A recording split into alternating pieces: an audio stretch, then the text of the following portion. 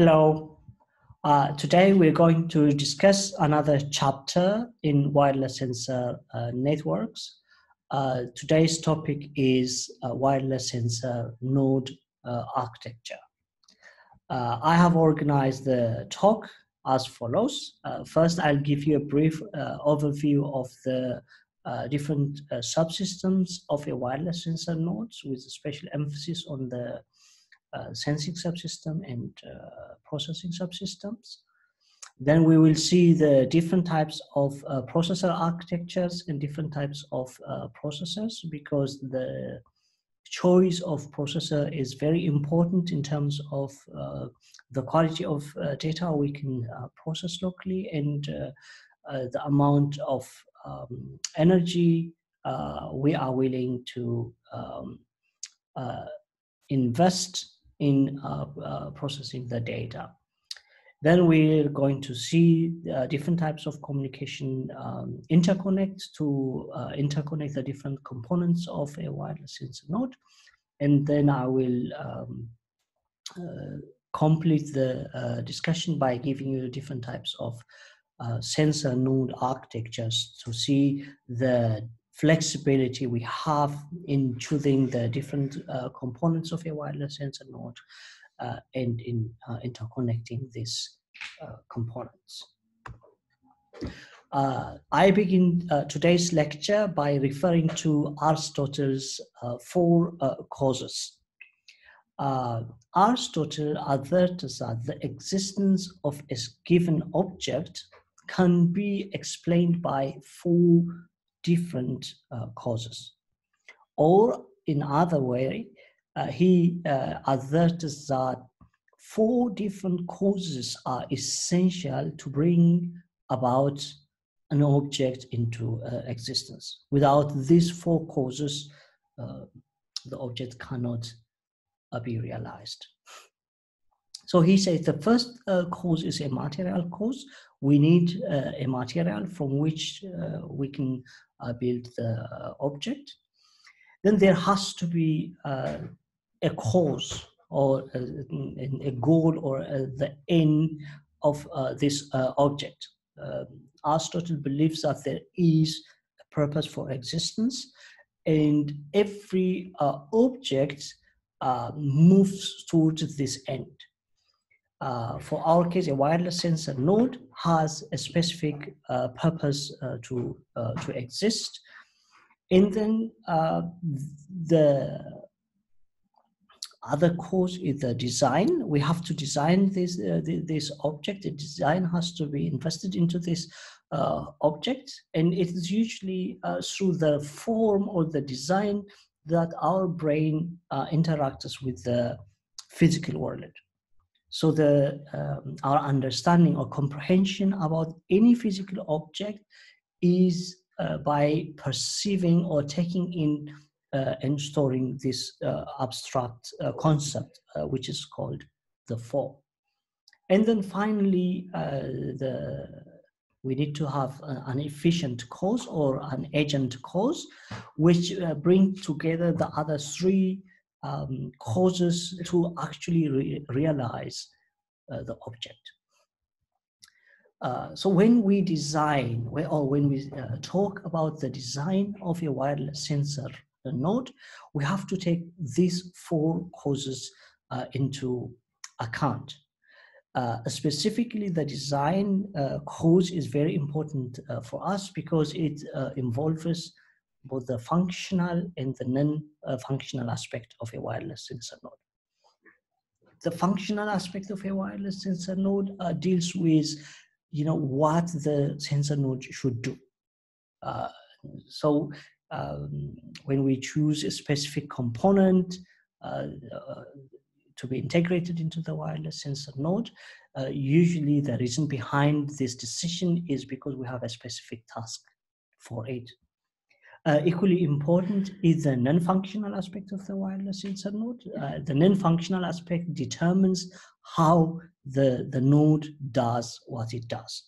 And uh, because we are dealing with resource constrained uh, components, it's very important to address the non-functional uh, aspect. For example, in terms of the cost of the sensor node, overall cost of the sensor node, the size of the, the sensor node because it has to uh, occupy space.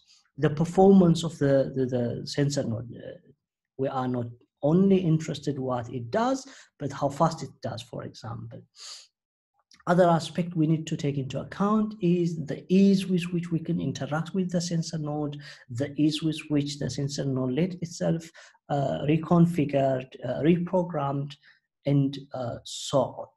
So there is a wide uh, range of decisions to be made, both in terms of its functional aspect and uh, non-functional aspect.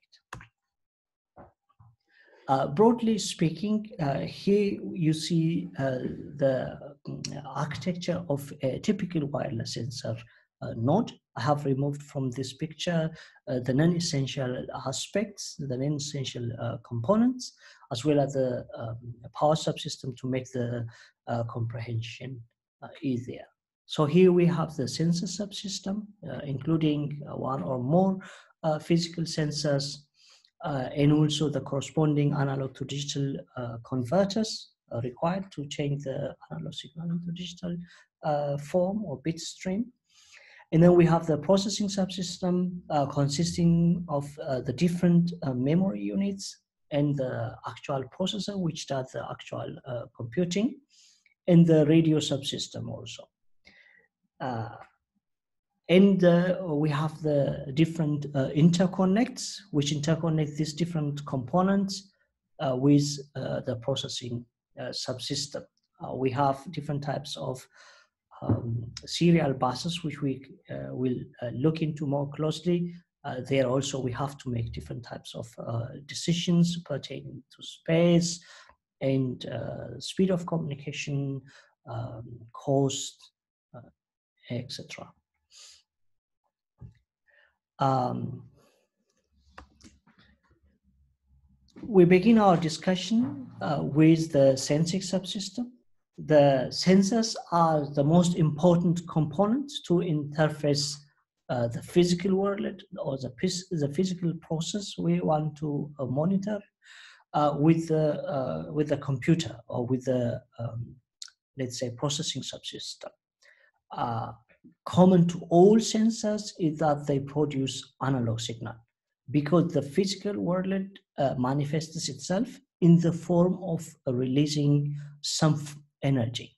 This energy may be heat energy, uh, it could be mechanical energy in terms of force, for example, or pressure, uh, or angular velocity, or linear acceleration, or it could be in terms of heat or light or some uh, other uh, forms. So the, the one of the responsibilities of uh, physical sensor is to transform these uh, different types of energies in the form of uh, electrical energy without actually changing or modifying the essential aspect of the physical signal or the physical energy. So usually we don't uh, affect the, the, the frequency or the phase of the signal, or if we do so, we do so um, in a way that it is possible to reconstruct the original uh, signal. So the analog signal which is produced by the sensors is um, continuous both in time and in amplitude. Uh, this, as I say, uh, may represent different types of processes. Uh, here I have listed uh, different types of uh, sensors um, according to their uh, applications. I may not uh, deal with all of them, but I'll give you um, a brief overview. We have accelerometers to sense linear acceleration. This linear acceleration represents some physical movement and this physical movement is related to uh, physical activities, for example, in um, AVM, which is uh, active volcano monitoring. We measure seismic wave, uh, which produce some uh, physical vibration on the surface uh, of uh, the Earth. Uh, in structural health monitoring, we measure different types of um, acceleration generated by the physical structures, such as bridges and complex buildings. Um, in healthcare, we uh, monitor uh, different types of um, human uh, movements, uh, the movement of joints, uh, movement of muscles, um, and ligaments to make sure that you know the um, health of the different types of um, human anatomy function uh, as they, they should. In transportation, especially in monitoring um, trains, uh, the drive quality of uh, trains. Again we, we we measure vibration generated by the the the, the, the train. In supply chain management we attach accelerometer sensors uh, to on containers and uh, object during uh, transportation to make sure that uh, fragile objects are not damaged by the, the drive quality we have different types of acoustic sensors to uh, measure also uh, uh, the distribution of pressure in, in pipelines, the quality and uh, type of fluid transporting in, in pipelines. We emit um, sound signals into the pipeline and based on the um, amount of signal received on the other side and um, the, the, change in phase or frequency of this signal, it is possible to reason about you know the, the, the quality of a flow, uh, the pressure the, the, the, pipeline undergoes, and the type of fluid uh, being uh, transported. So all these uh, physical uh, sensors uh, I, I, I, listed transform some physical energy to uh, electrical energy. And by processing the, the electrical energy it is possible to reason about uh, interesting uh, events.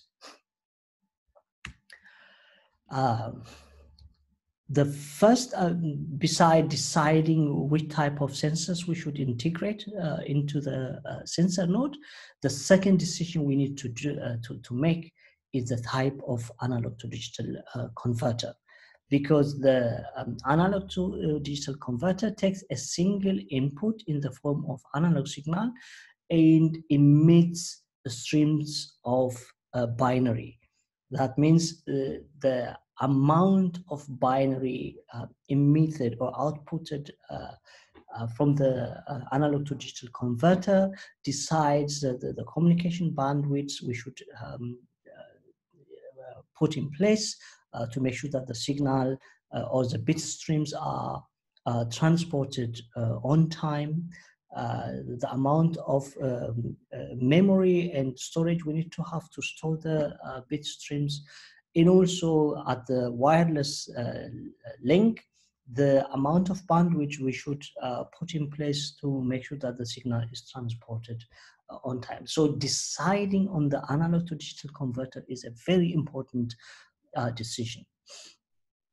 Again, uh, what are the, uh, the, the, the aspects which we should take into account to decide which uh, analog digital converter is suitable decide uh, determined is determined by the uh, quantization uh, failure. What's the quantization failure? I will explain to you in the following uh, slides. Suppose here we have uh, an analog signal. The, the the black signal you you you see here this is analog. So as you can see in time it's continuous and in in amplitude it's also continuous but the processing subsystem as well as all the other subsystems are all digital so they understand only uh, bits. So this analog signal has to be transformed into bit uh, streams. What we can do is for, at a regular interval we can uh, sample this analog signal.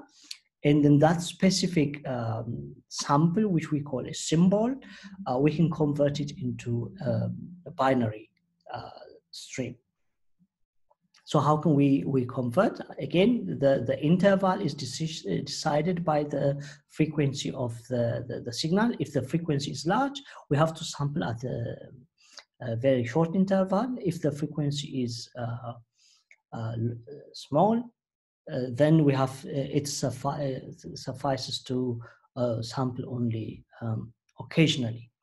Uh, this uh, expression is uh, mathematically uh, expressed by the Nyquist theorem. The Nyquist theorem says that we have to sample uh, an analog signal at a frequency which is at least twice bigger than the frequency of the signal so that no information um, is lost. Uh, for sensor network, we should uh, sample the sensor at a much higher uh, rate uh, because the sensor node uh, typically uh, operate in a very harsh environment which affect the, the signal quality. The amplitude again here at discrete intervals, we have to map you know the magnitude of the uh, analog signal. For example when we uh, sample the signal at this point let's say this is uh, around 1.2 volt uh, here we have one volt for example the next stage is two volt. So we have to map this 1.2 volt either to this or to this one. Since the nearest is this one uh, we will map the signal uh, to this one but in assuming that a 1.2 signal is a 1 volt, then we have introduced an error of 0.2 uh, volt. This is what we call a quantization uh, error the quantization error we uh, suffer as a result of uh, you know transforming the analog signal into a digital signal is determined by this uh, formula q is equal to epp over to the power of um, m uh, epp divided by to the power of m.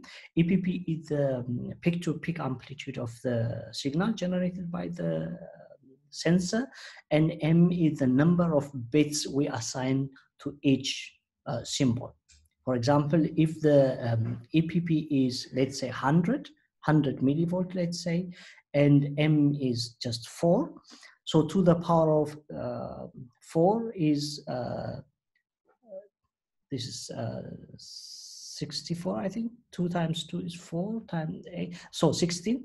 So 100 over uh, 16 is the uh, quantization uh, error introduced as a result of deciding to encode each symbol with four, um, four bits. Um, another important aspect we have to take into consideration is the, the, the size of the, the physical size of the, uh, the analog to digital converters. Uh, sometimes we use uh, multi-channel uh, analog to digital converters because uh, we can, uh, you know, multiple sensors can share one and the same uh, analog to digital converters uh, providers that we don't uh, sample these sensors simultaneously often. Uh, the the cost is of course now the, the um, uh, overall resolution is uh, affected in case both sensors should be sampled in parallel at the same time. Okay, now we have seen the, the, the, the, you know which type of sensors we should integrate. We have seen uh, how we can select the appropriate uh, analog to digital uh, converter. The second most important uh, decision we have to make is the processing subsystem Indeed, next to the uh, radio component, the processing subsystem is the most energy consuming uh, component or subsystem in the um, node. So care has to be uh, made in selecting and integrating the appropriate type of um, uh, a processor or a processing subsystem. We will see uh, the different types of um, decisions we have to make in, in, in this um, respect. To begin with, uh, because the, the processing subsystem is responsible for all type of uh, computing, that means you can say that the processor is the intelligence uh, or the intelligent faculty of the, the node. So we need to understand what type of decision uh, or what type of tasks should be supported by the sensing subsystem. Of course, in, in a wireless sensor network, remember the, um, the nodes, the, the primary goal uh, or purpose of uh, the wireless sensor nodes is to sense a physical uh, process or a physical um, phenomenon. Then the packets have to be processed. So this is another, another task. processing packets. For example, this processing mean uh, compressing the data. It could mean filtering the, the data or doing some simple operations such as you know computing the average temperature or the average uh, acceleration over a certain period of time. So this type of local uh, computing is the second task. The third task is uh, communication. So the node should communicate the packet uh, to a remote base station. So this requires both um, point-to-point communication and networking in case you know we have to support uh, multi-hop uh, communication. So these are the additional tasks of a processing subsystem, in especially the the the, the latter aspect require a more intelligence. The, it's not the, the, the kind of task you should do uh, routinely. So nodes should discover one another. Uh, they have to, uh, you know, implement some advanced communication uh, protocols such as routing protocols and MAC protocols. We need some flexibility in, in programming. You know, once we have deployed the sensor node, for example, we may decide to change the, the protocol. This requires um, flexible communication and self-organization. So a, the task of a processor besides doing some low level uh, signal processing involves also some intelligence. That means the processing subsystem should be able to handle this type of advanced uh, tasks. Uh, as I said, the processing subsystem, besides the, the, processor itself, should also take into account uh, different types of memory uh, unit again. Uh, this also requires some uh, uh, interfacing flexibility on the part of the, the, the processor subsystem. In general, we have three types of uh, processor architectures, each having its own advantage and disadvantage. Again, e here we have to make uh, different types of uh, trade-offs in terms of space, in terms of power consumption, in terms of cost, and uh, on one hand, and on the other, in terms of efficiency, in terms of capability, um, and in terms of uh, uh, speed. So the first architecture we're going to consider is the von Neumann architecture. The von Neumann architecture is the simplest processor architecture and the, the most compact of uh, all the other architectures. And it's the first uh, uh generation um, architecture. In the von Neumann architecture, we have two building uh, block, the, the processing subsystem and the, the memory subsystem.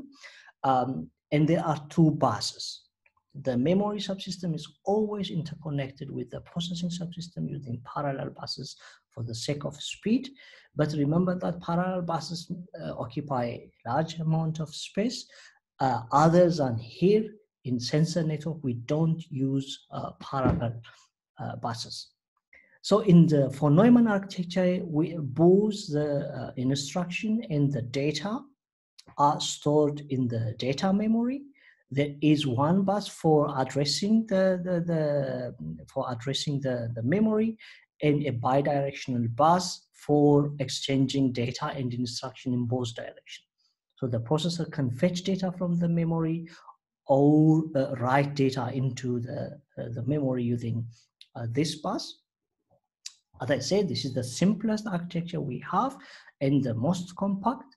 The disadvantage of this architecture is that um, the number of cycles required to fetch data and uh, uh, instruction from the memory unit is relatively uh, large. That means if, for example, I want to uh, fetch just one instruction and one um, data unit, then I have to use two uh, cycles. So the Neumann architecture, it, it, for its compactness, it also entails uh, slow uh, computation uh, time.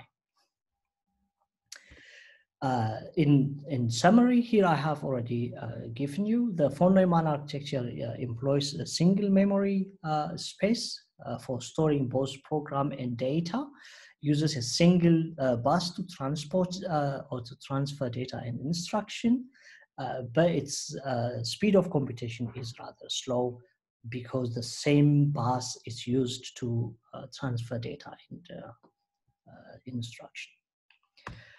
The Harvard architecture is the second generation architecture here you can see that now we have two different type of memory unit. We separate instruction and um, um, data uh, to make sure that they can be uh, fetched in parallel using just a single uh, cycle. The, the cost we undertake in this case is now a double, almost double uh, space so here we have more resources. Uh, we have uh, two different um, instruction, sorry, address buses and two different types of uh, data buses. One is used to interconnect the, the processor with the uh, data memory and the other bus is uh, required to interconnect the program uh, memory with the processor. Remember, both buses are here parallel buses which are quite expensive. So the, the size of the Harvard architecture compared to that of the von Neumann architecture is significantly large. But again, uh, it's also faster now because of the um, uh, parallel uh, architecture. It's possible to fetch instruction and uh, um, data at the same time. So here you can see um, the summary of the Harvard architecture. The other architecture we have is the Super Harvard architecture, uh, which is commonly referred to as SHARC. Here, uh, two additional components to the Harvard architecture are introduced. So the first one is here now we have a cache um, block to uh, store frequently used uh, instructions. This facilitates uh, computation. And then here we have another uh, block which is called the input output controller so that we can support uh, direct memory access. One of the main difficulty in using the von Neumann architecture as well as the, the, the Harvard architecture is that um, you know all communication between different components should take um, through the, the processing subsystems the, the processing subsystem, and this makes the processing subsystem very busy.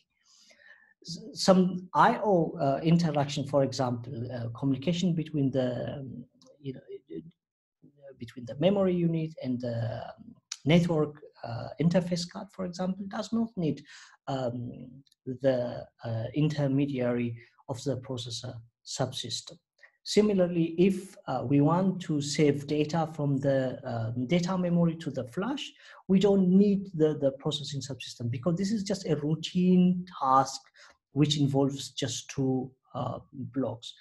So the direct memory access capability of the Super Harvard architecture enables the isolation of the processing subsystem or, uh, from, from this type of uh, task. This uh, facilitates uh, uh, computation and increases um, efficiency. But the cost uh, we incur or introduce as a result is a more um, advanced processor architecture, larger processor architecture, and power consumption now increases.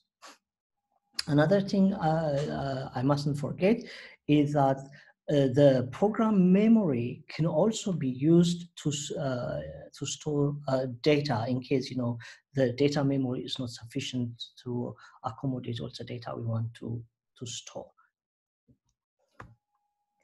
Okay, so these are the three main uh, processor architecture uh, architectures we have. Which of the architectures is suitable for building a wireless sensor node depends again the, the, the, cost we are uh, ready uh, to forego or to, uh, to, to uh, introduce. And also the um, uh, requirements of the, the application. Uh, next, I'm going to give you four different types of processors. again, to, to make sure that we have the right a flexibility in putting together the, the, different components of your wireless sensor node. The first uh, processor architecture we have is microcontrollers. Uh, generally, we don't use uh, microprocessors for wireless sensor networks. Uh, sensor networks. because they are very expensive. They are, are quite advanced uh, general purpose uh, processors, uh, and most of the uh, the uh, architectural components of a microprocessor we don't really uh, need.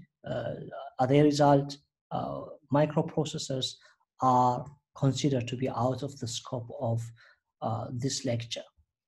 So the, the first general purpose processors we have are uh, microcontrollers. Microcontrollers are in, in, in many respects similar to microprocessors uh, at a micro level, at a mini um, complex uh, level. So here a microcontroller integrates um, its own CPU core uh, internal uh, memory to store instruction and data needed for a specific uh, operation. It has its own uh, read-only memory, um, uh, electrically erasable random access memory, and um, different types of memories to store data both uh, uh, locally and uh, temporarily.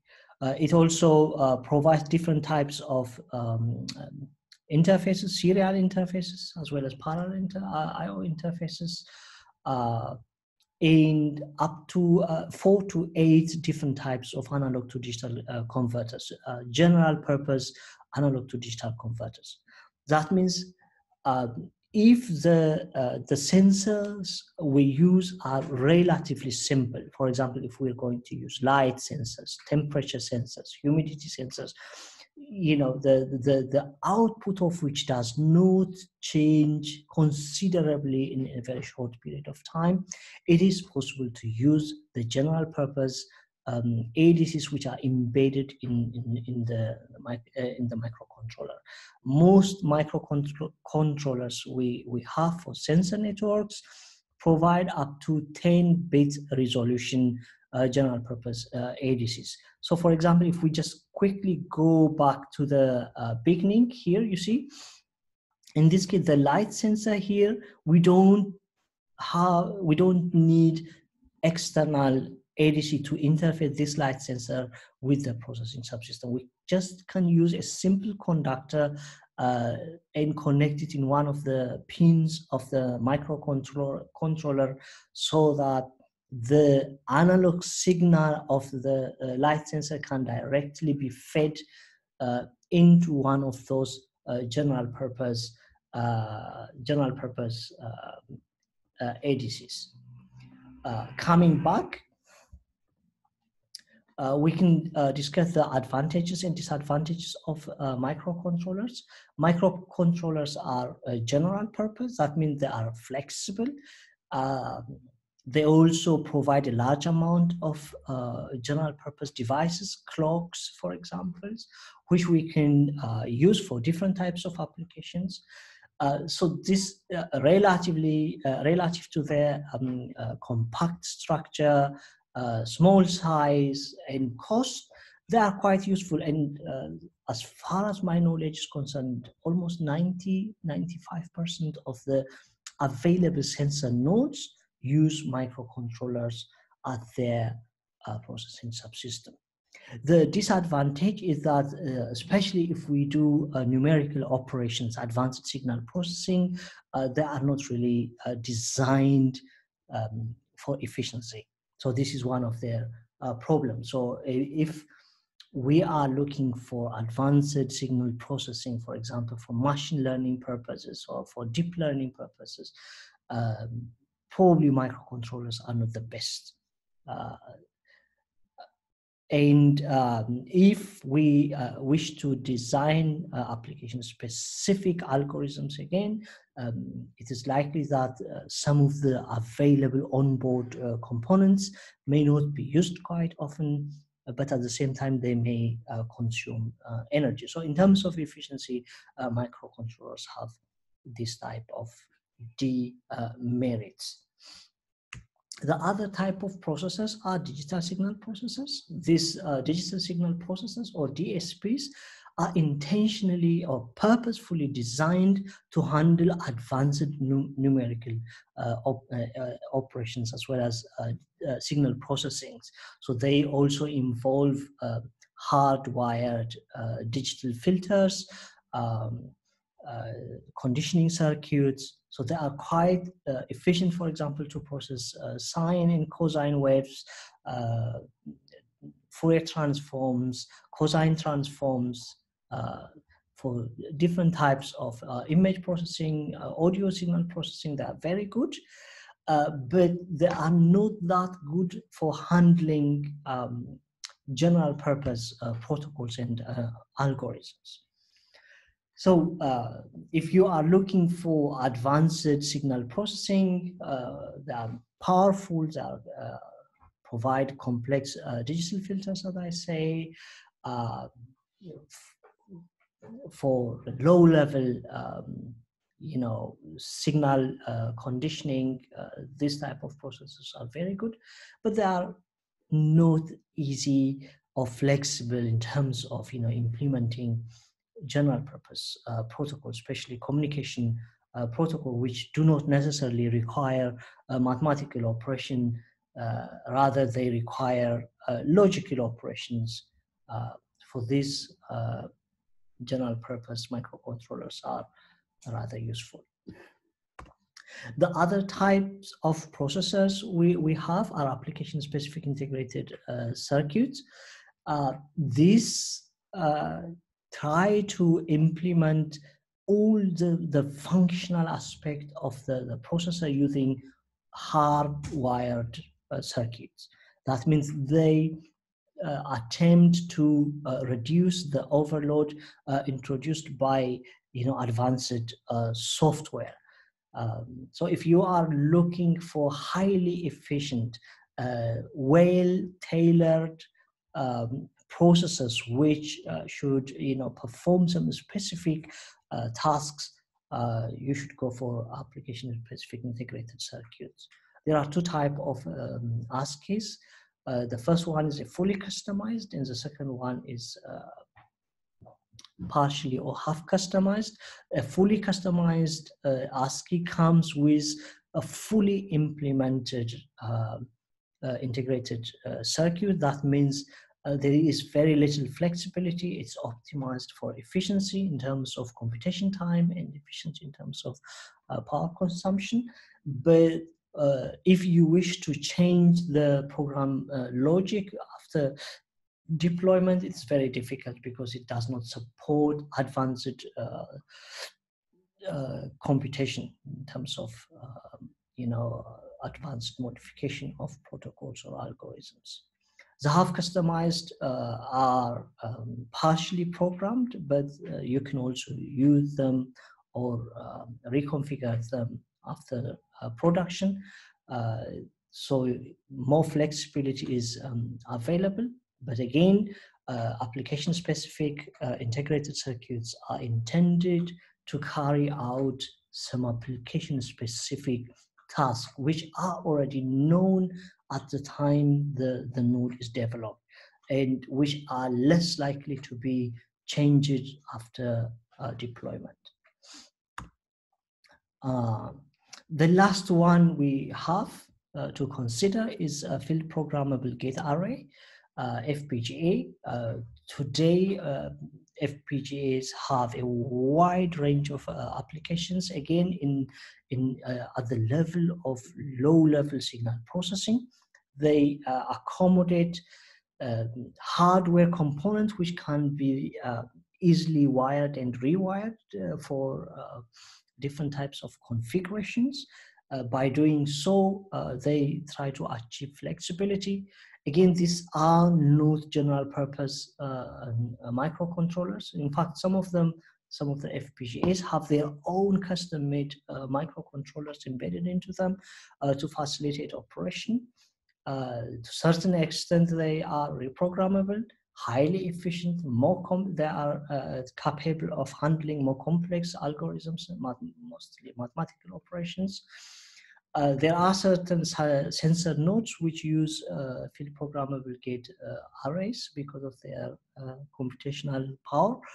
Um, again, which of the processors is um, more suitable for a specific uh, application depends on the requirements of the, the application. In general, these are the four different types of uh, processors available on the market to to build a wireless sensor node.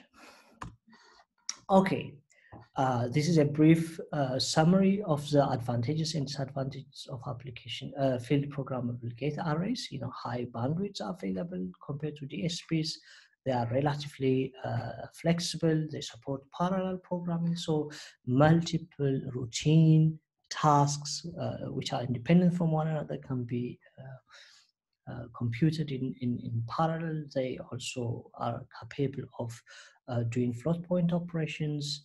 Uh, again, uh, FPGAs have a wide range of uh, applications. relatively seen, they are more costly than microcontrollers and they also require advanced knowledge to, to program. Okay, having seen the sensing subsystem and the processing subsystem, the next important uh, building blocks are the communication interfaces or the interconnects.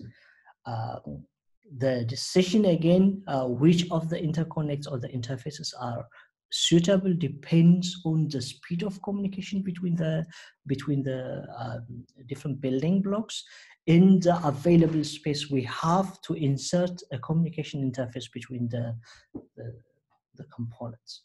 So in, we have to take uh, into account uh, communication efficiency, communication speed, and available space to decide uh, which type of communication uh, uh, communication buses are uh, suitable. parallel buses are the most, the fastest parallel buses means, um, for example, if eight bits are emitted from uh, analog to digital converters, then we can use eight bits of the, the processor to transfer all the bits at once with a single cycle. But this means A, now we have occupied eight bits of the, the, the processor, uh, which is quite costly, especially if we have uh, many uh, components. And b now the the space the communication subsystem or the communication interface requires to become considerably large uh, and in a given sensor node we don't have that much uh, that much space. So in designing a wireless sensor node we don't use parallel buses as interconnects or as interfaces all we have is a serial, uh, you know, a, a, set of serial uh, buses uh, from which we have to make our choice. The disadvantage of serial buses is that a you know a single byte, for example, eight byte, has to be streamed bit by bit to the other um, uh, component. This is uh, inevitably slow but then we just need a single uh, wire to stream all the all the uh, bits so we sacrifice speed uh, for gaining space okay uh, there are different types of serial buses available in general purpose computers uh, for example here i have listed the serial peripheral interface uh, which we call spi we have the general purpose input output uh, serial uh, bus. We have the secure data input output and the inter uh, integrated circuit or the I2C um, are options. Most of the time for wireless sensor uh, nodes, the first and the last are the most suitable uh, because they give the uh, the right uh, trade-off. For example, if we want to use a full duplex communication, we can use the serial peripheral interface. Or if we need space, then we can opt to um, half duplex bus, which is the I square bus. So most of the sensor nodes available on the market today uh, use uh, SPI and I square C, and I'm going to discuss these two uh, communication interfaces uh, in the following slides. The SPI or Serial Peripheral Interface was first uh, proposed by Motorola in the 1980s. To this day, uh, it doesn't have any standard, but almost all components uh, needing a faster uh, communication use use it. Okay, so it's a high speed uh, full duplex synchronous uh, serial bus. What do we mean by uh, duplex to begin with? So if you have two partners communication uh, communicating with one another, and if data can go in both direction, we call that the bus supports uh, duplex communication. And now, if these two parties cannot communicate at once, but only one of them. So that means either data flows from this to this or data flow from this to this. Either one of them, then we are talking about half duplex. If the two parties can communicate with one another at the same time, then data can go in both direction. Then we're talking about full duplex. So the serial peripheral interface supports full duplex communication. So data can flow at any time in both direction. So for that, at least we need two wires, okay? One in this direction and two in this direction. So compared to half duplex serial buses, uh, full duplex serial buses require a larger space. So this is one of their uh, limitations. Now, if we want to integrate two or more components, then each component needs at least four bus, uh, four uh, pins. Okay, so the, the, the first one is for input, the second one is for output, and the third one is for selecting which of the uh, components should communicate.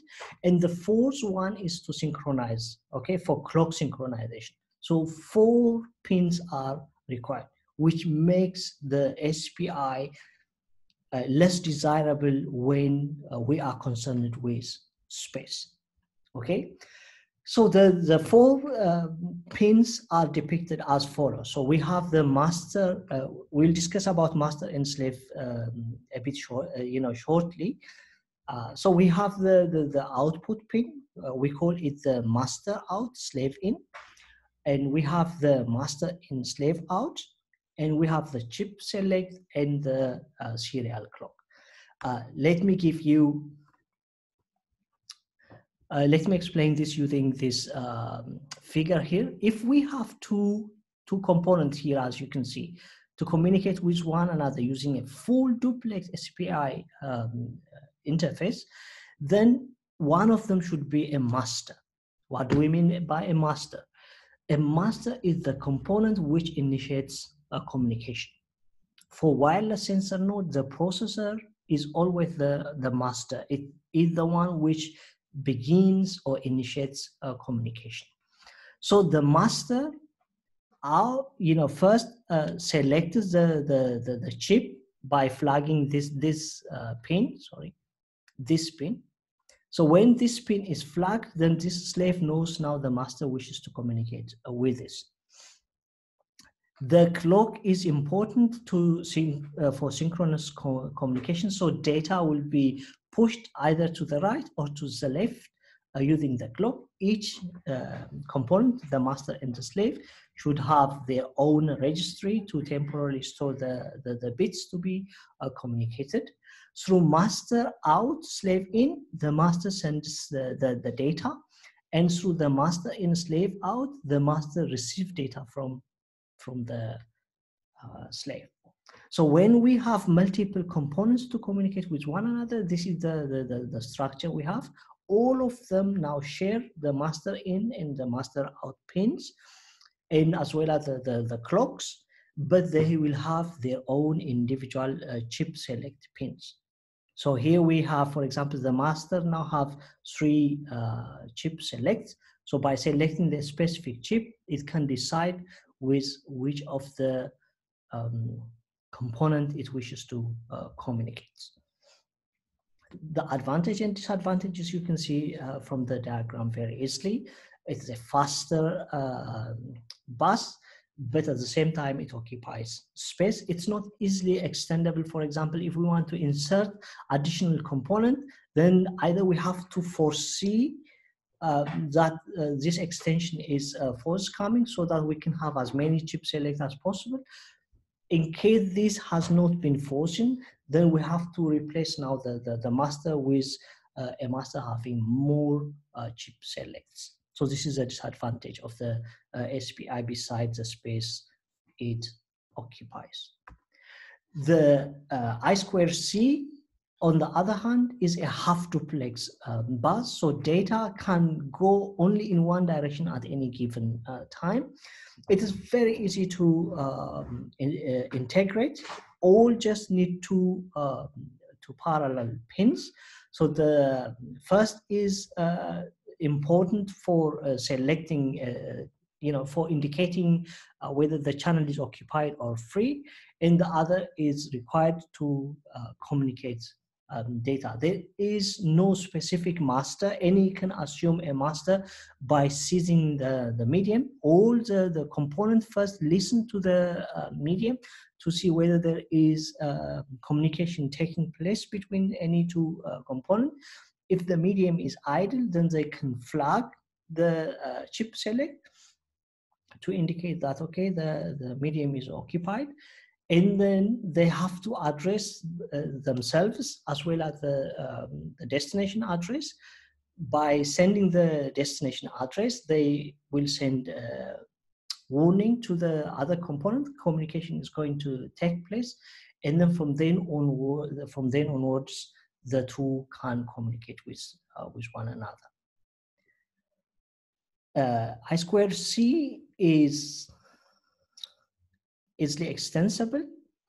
Uh, if the, the, the communication bandwidth is not, uh, you know, the requirement for communication bandwidth is large, uh, this is the most uh, suitable um, communication interface because it does not occupy uh, a large space. Uh, initially, uh, seven bits were needed to, um, uh, you know, uh, address component uh, in a unique way. today, I Square C supports 10-bit addressing so that we can integrate as many components as, as possible. one of the uh, problem with I square C is that there is no synchronization as such you know there is no standard uh, synchronization.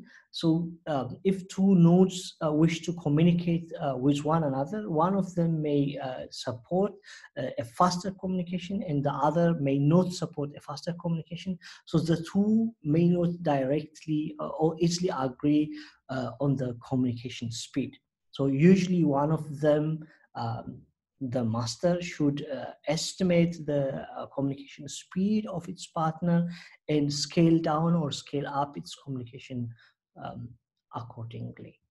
Uh, another problem with uh, I square C is that there is no fair mm, um, algorithm to arbitrate uh, the medium.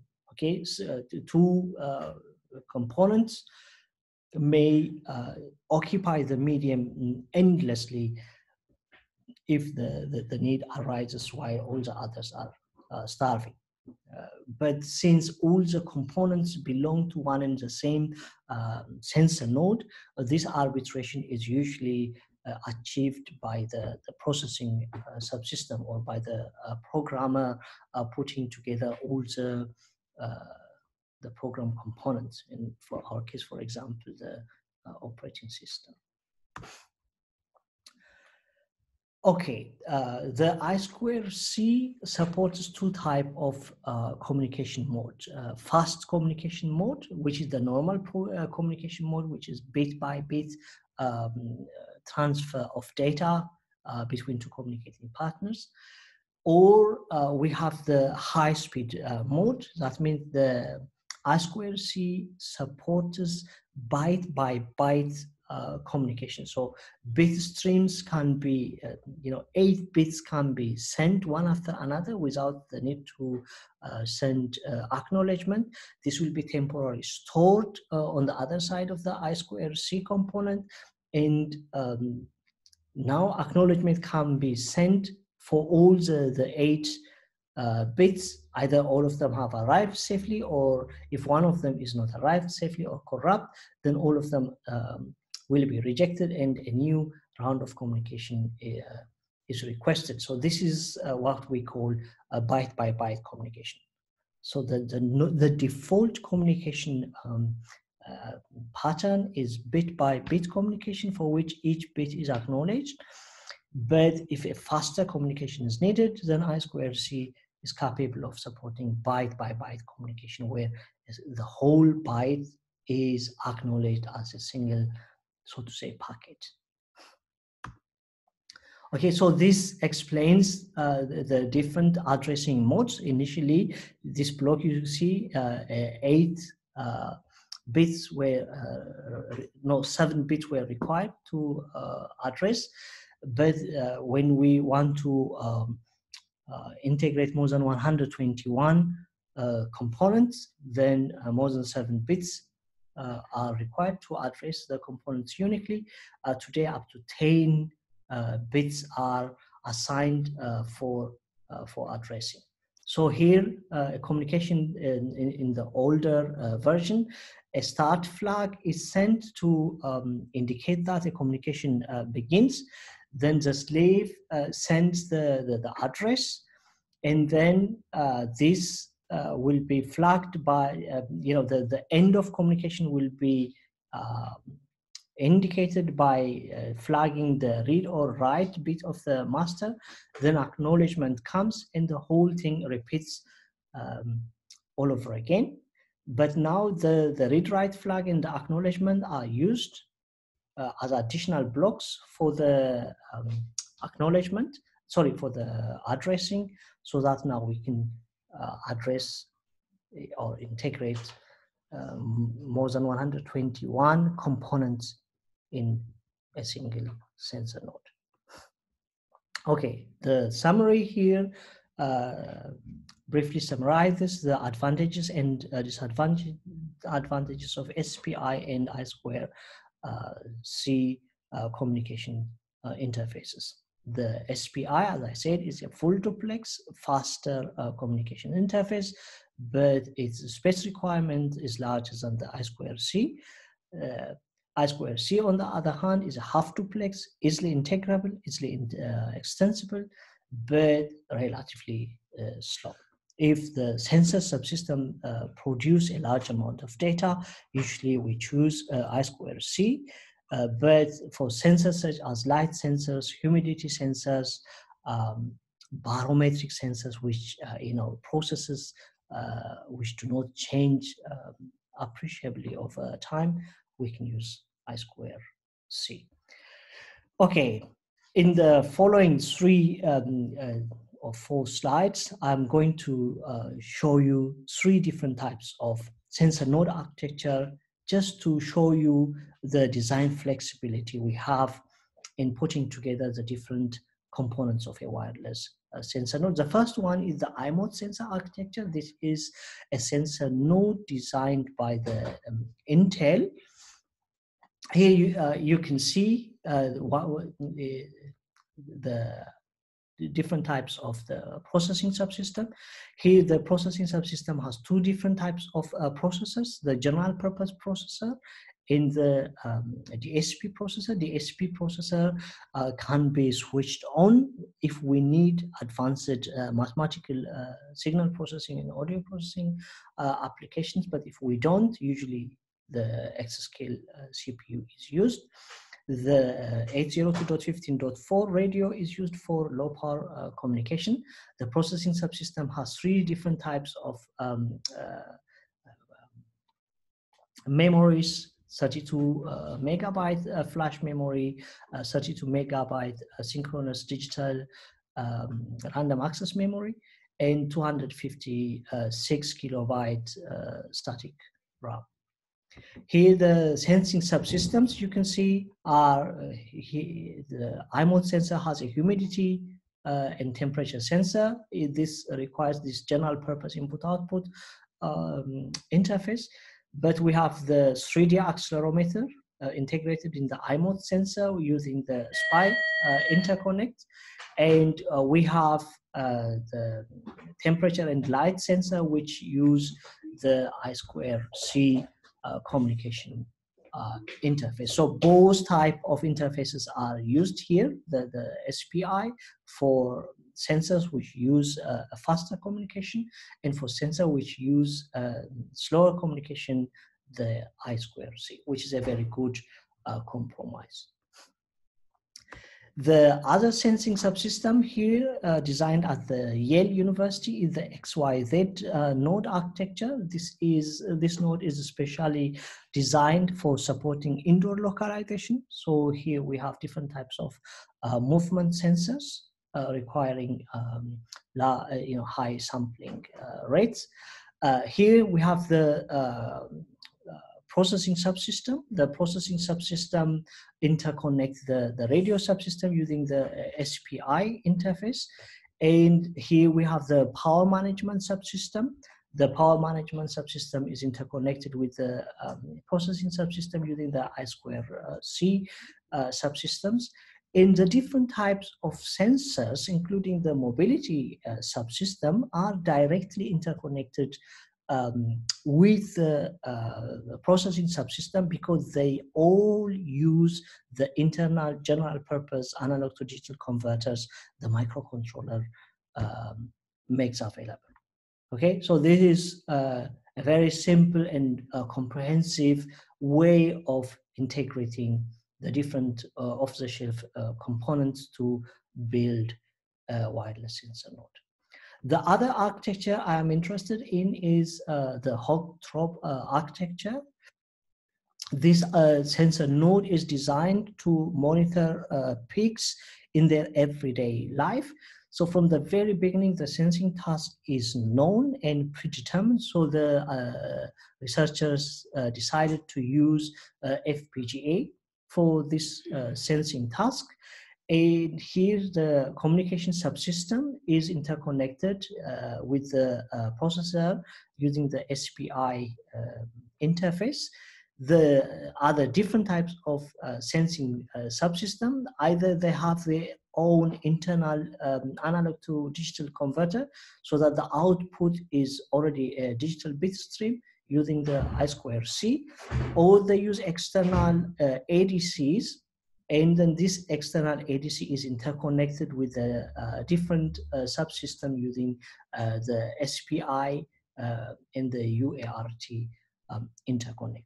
So I hope this gives you a, an overview of a wireless sensor node and how the different components of a wireless sensor node can be uh, interconnected with different types of um, communication uh, subsystems. Um, this uh, session focused focused mainly on on the um, the hardware um, uh, integration of uh, components. In the next session, we will uh, deal with the software aspect, which is the operating system. Thank you for listening, and by this Uh, we come to the end of today's session.